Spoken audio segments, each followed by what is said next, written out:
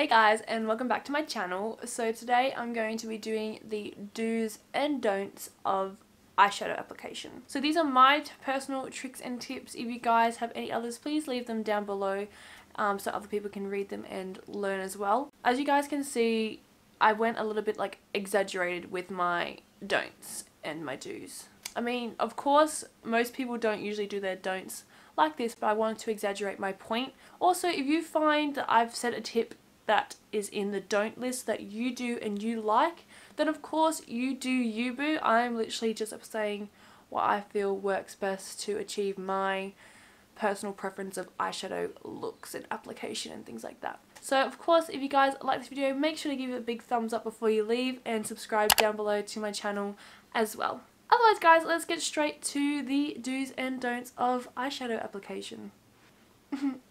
okay guys, so first do and don't is eye priming. So do prime your eyes. Um, if you don't prime your eyes and you have quite oily eyelids, then you can tend to get your eyeshadow creasing and it won't last as long during the day. Now you don't actually need to use eyeshadow primer to prime your lids. You can go in with concealer if you prefer. I love going in with the LA Girl Pro Concealer. It's affordable and it lasts a fair while and I also love using either the Maybelline Fit Me Concealer or my Maybelline Instant Age Rewind Concealer.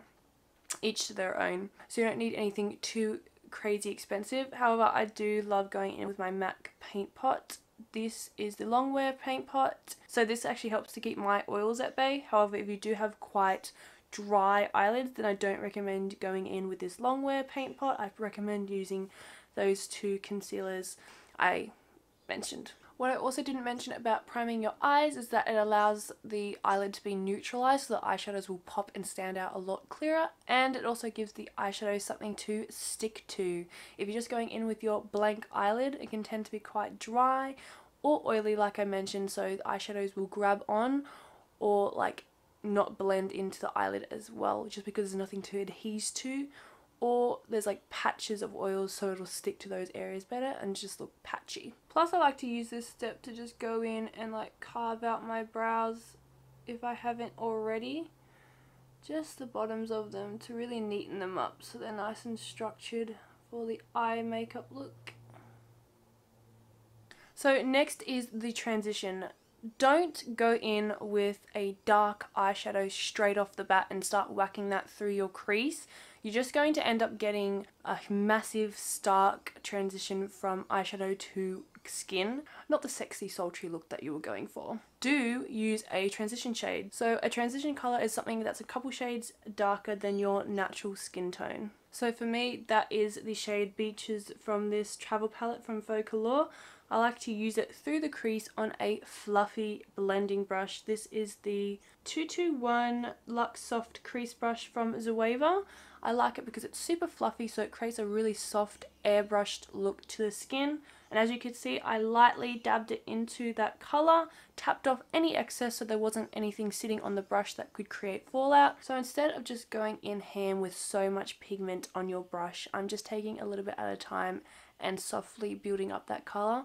You want to keep working that product into your skin till you have absolutely nothing left in your brush and then I'll go dip it back into my palette and build up that shade till its desired pigmentation. And as I'm blending this, literally only the very top of the bristles are touching my skin. I'm using very light pressure, whereas before I was really digging in that brush into my eye socket. So the transition shade doesn't necessarily need to be a brown. It can be a blue if that's your shade range you're going with. It starts from light blue and works down into the deeper colours.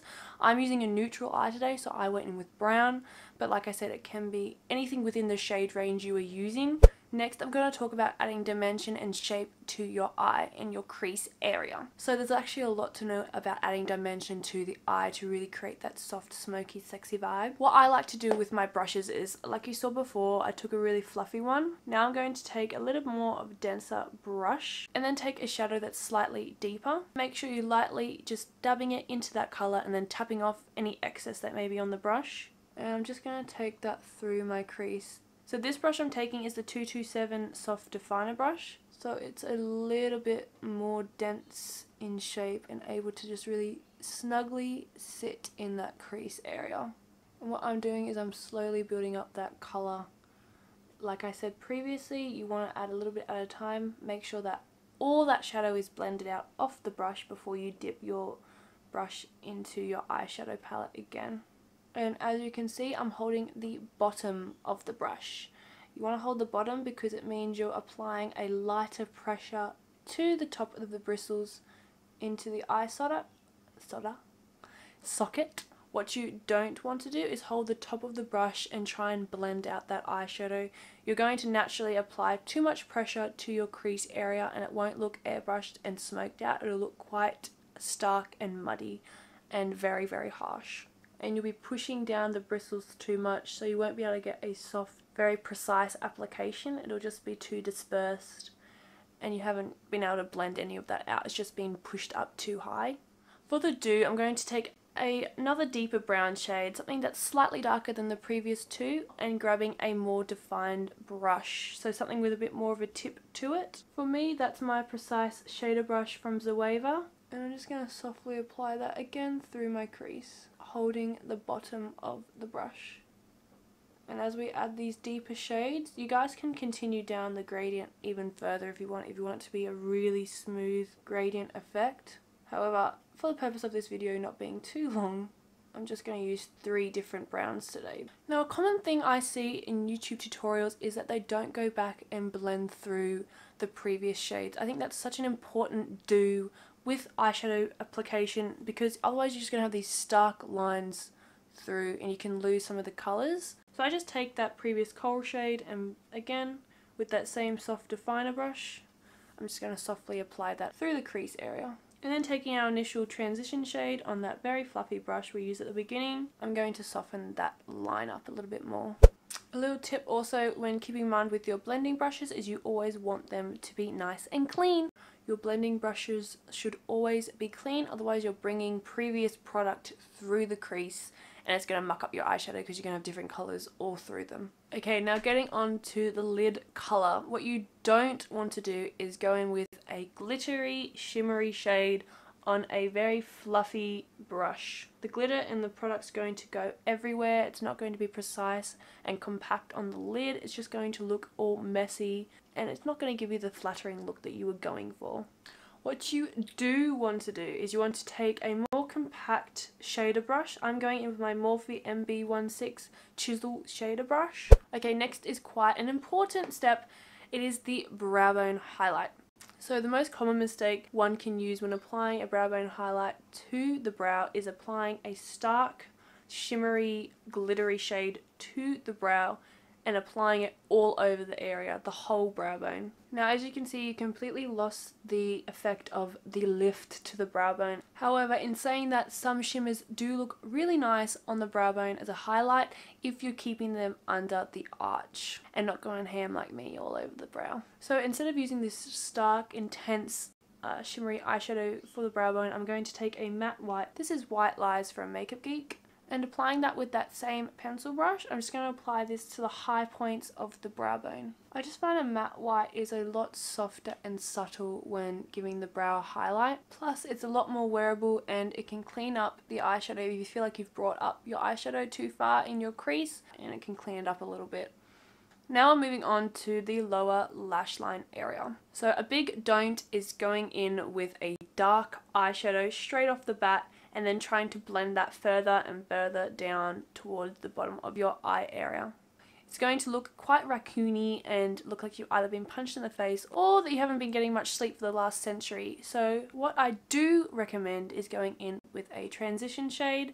The same way we did to the lid area, we're going to apply to the bottom area and create that soft gradient effect. So layering on the eyeshadows. I like to go in with my pencil brush from Gloss just to create a bit more precise application to my eye area and making sure you're always connecting that eyeshadow up toward the outer corner area where that lid eyeshadow is. So you're meeting them together so there's no stark gap in between those eyeshadow areas. And what I like to do is focus all the deep shades on the outer corner of my eye and then softly blend whatever's left on the brush towards the inner corner, not bringing it all the way in, keeping it about two thirds of the way across, to create that sexy almond shape eye rather than it being quite rounded and raccoon like. You want to get that kind of sexy soft almond shape look. My final tip for you guys when cleaning up the fallout on your face after you applied your eyeshadow is do not go in with a cream concealer or product after you've applied your eyeshadow, especially if you applied powder beforehand. The eyeshadows and powders is going to mix with that concealer and look streaky and smudged as you guys can see here.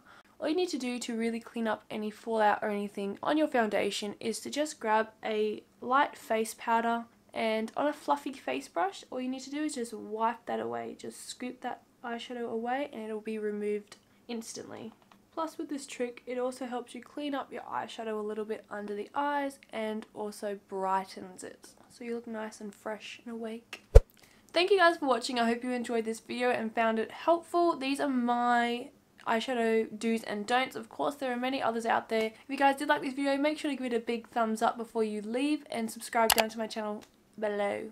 Otherwise, have an awesome day, guys. Thank you for watching, and I'll see you very soon. Mwah. Bye.